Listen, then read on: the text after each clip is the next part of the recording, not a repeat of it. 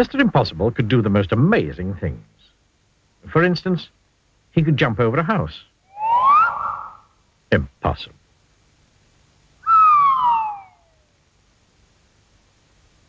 And Mr. Impossible could make himself invisible.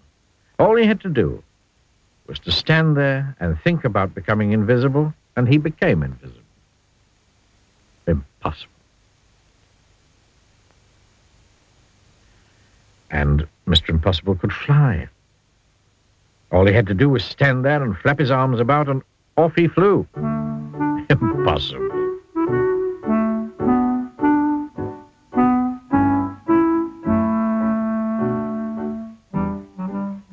He lived in an impossible looking house.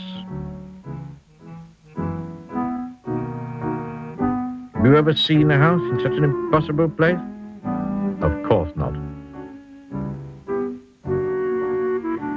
One day, he was out walking in the woods when he met a boy called William.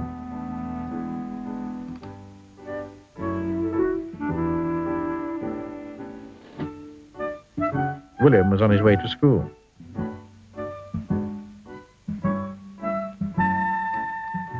Hello there, said Mr. Impossible. Hello, said William. I'm William. I'm impossible. Really? said William. Sure am, smiled Mr. Impossible.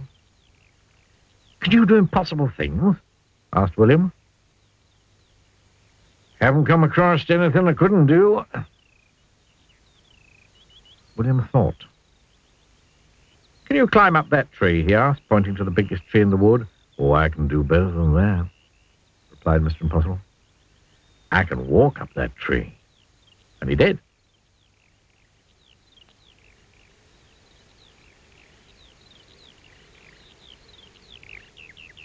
William thought again.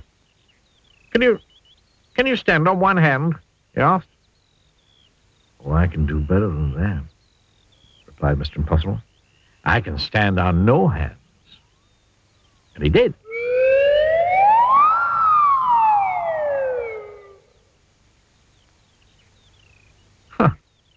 That's impossible, cried William. Sure is, replied Mr. Impossible. Then William remembered that he was on his way to school. Why don't you come with me? he asked. But uh, I, I've never been to a school before. Then it's time you did, replied William. Come on.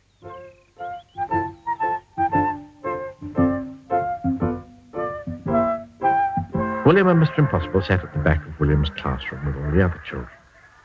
The teacher came in, but didn't notice that there was somebody extra in his class that morning. Morning, children, he said. I have a very difficult sum for you to do today. It will take you most of the morning to work out the answer. And he wrote the sum on the blackboard. It really was the most difficult sum William had ever seen in his whole life, full of adding up and taking away and multiplications and divisions and other things William didn't enjoy. The teacher was right.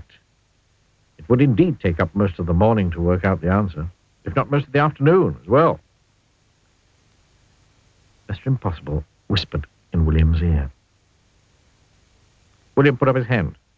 Yes, William, said the teacher. Is there something about the sum that you don't understand? Please, sir, said William. Is the answer 23? Teacher was very, absolutely, totally, completely amazed. How did you work out the sum so quickly? he gasped. It's impossible. Ain't nothing impossible, mister, said Mr. Impossible from the back of the class and stood up. Well, I never did, exclaimed the teacher. After that, Mr. Impossible spent all day at the school. He showed the teacher how he could read a book upside down. But that's impossible, said the children who were watching. Yes, sir, said Mr. Impossible.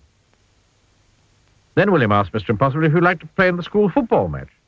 We sure would, replied Mr. Impossible, but I ain't never played football before. And you know what he did? He kicked the football so high into the air Then when it came down, it had snow on it. Impossible. Then it was time to go home. Mr. Impossible said goodbye to all the people at school, and then he said goodbye to William. Goodbye, Mr. Impossible, said William. So long, William, said Mr. Impossible. He just disappeared. William rubbed his eyes and went home. William's mother and father were waiting for him. Hello, William, they said. You have a good day at school? Yes, he replied. And I met someone who can do anything in the world. Oh, oh, oh, oh really, William? They both laughed. You're impossible. William smiled and went inside. And a hundred miles away, a small figure was listening to what William's mother and father were saying. And then he went to sleep. Standing on his head. And we all know that that is downright impossible. Yes, sir.